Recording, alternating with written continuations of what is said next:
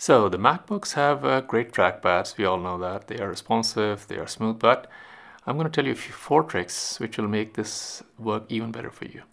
So these are settings which are in the uh, pointer controls, in the trackpad controls rather. And the first one is tap to click. Now when you get a new Mac, it's off by default, which means that in order to you know tap, you have to actually click. You have to force down the finger slightly. And while it's uh, no hardship, uh, I would highly recommend that you switch on tap to click. What does it do? Well, once it's on, you can just tap right? So it's uh, it's a small, subtle thing, but you, this is a gesture that you will use the most in day-to-day computing. And so just having it as a tap instead of a click, it does uh, quality of life improvement for you. It, when it's done, by the way, it also affects the right click, the secondary click, right? So the secondary click is by default set to two finger tap, but if I switch off the uh, tap to click, it you know it only says two finger click.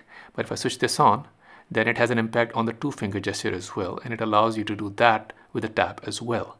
And what does that mean? It means that you can also now do a right click with a two finger tap just like so rather than doing it uh, you know forcing down two fingers. You can just touch two fingers on the screen and that's your right click right over there. For the third setting I'm going to go into the accessibility controls. Within that go to pointer controls within that go to the trackpad options. And within that there is a setting called enable drag. All right? And switch this on. It says enable drag with three fingers. So we'll switch this on. And what it lets us do is now if I want to drag something I just don't have to click again. I just drag with three fingers and it's done. And but default of course is to just click and drag and that's perfectly fine still works. But you can also now just use three fingers and just glide over it also works for text selection, by the way, right? So if you want to select text, yeah, there you go. Just with three fingers, I just drag it and it immediately starts selecting the text. You can of course do it with single finger as well. But the three finger swipe, in my experience, is very, very handy. You get very used to it. It's dug inside the accessibility settings. And so it's a little hard to find, but it's worth your while to change that. The fourth thing it goes uh, that you will want to check is in the more options uh, in the uh, in the last tab.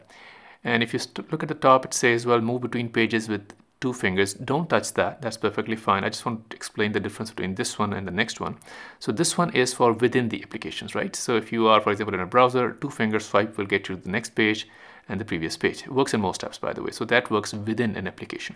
But if you want to swipe between full screen apps, uh, then by default it's set to four finger swipe. And so four finger swipe will take you from one screen app to another. And you just want to check that it is it is set to four fingers because if you set it now to three fingers which is an option like this uh, this will now work with three fingers but it will remove the drag with three fingers that we just set within the accessibility controls because there is a conflict between this option and that options if we set this one to three fingers. So leave it at four and even if you reset it to four you'll have to go back to accessibility and re-enable your uh, click to drag option over there. Right? So that's uh, all set now. And uh, now you have the you know the tap the two finger tap for the right click.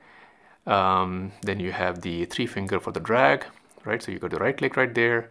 And then you have your drag with three fingers and with four fingers you can go from one to so that's the one two three four if you like of the trackpad options that I like to set up on my Macs uh, finally, I would request you to please subscribe to the channel. I started this YouTube thing about a year ago and apparently you're supposed to ask and request people to subscribe and I have no idea because I was new to this so I've never actually done this and right now I'm trying to you know increase the subscriber count because I want to be part of the YouTube uh, partner program and so I'd really appreciate if you subscribe.